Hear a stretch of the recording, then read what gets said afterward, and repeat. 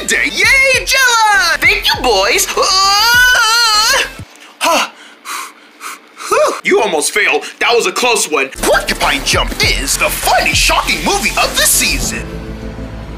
I don't see them no more. Yup, they're gone. No, we're not. We're still here. Ah! You'll give it two thumbs up. We lie all day. Let jump, jump, jump, jump, jump, jump to the light sky. Sun up. Hey, where'd you guys go? Here we are. Here we are. Yeah. Wow. Porcupine Jump. Boing. Rated PG. Now playing only in theaters.